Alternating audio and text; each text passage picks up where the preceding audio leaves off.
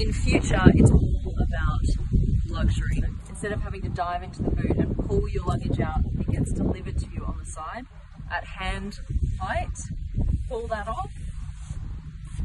Look at this. Even the Rolls Royce badge on the luggage is weighted. Stays upright. Just like on the wheels. Alright, let's see the interior.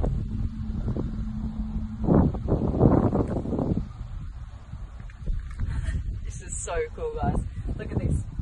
You've got this red light running along the bottom of the step, and that projects a red carpet all the way out here. So when you enter your car, you walk on a red carpet. Your Rolls Royce branded umbrella. Alright, inside, this is actually a heated compartment to dry your umbrellas faster. And then you literally walk into the car. You don't have to duck because, of course, that's not very luxurious. That's what they're aiming for. No steering wheel. This car is fully autonomous. Now, what you could say is Rolls Royce has been from the very beginning an autonomous car because they were made to be chauffeur driven. So you were always kind of hanging back here in luxury and comfort. Look, you've got silk pillows, a silk lounge chair in- here in the back.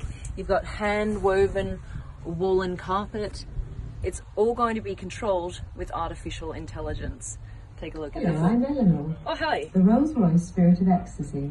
I know from your diary that you are due to attend a rather special charity auction in aid of the Governor's Foundation. Take a look at the shape here.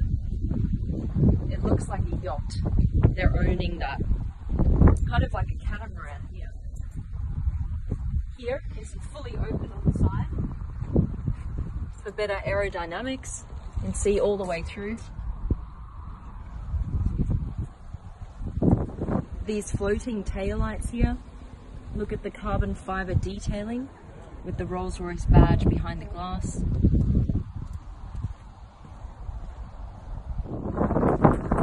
Here we go?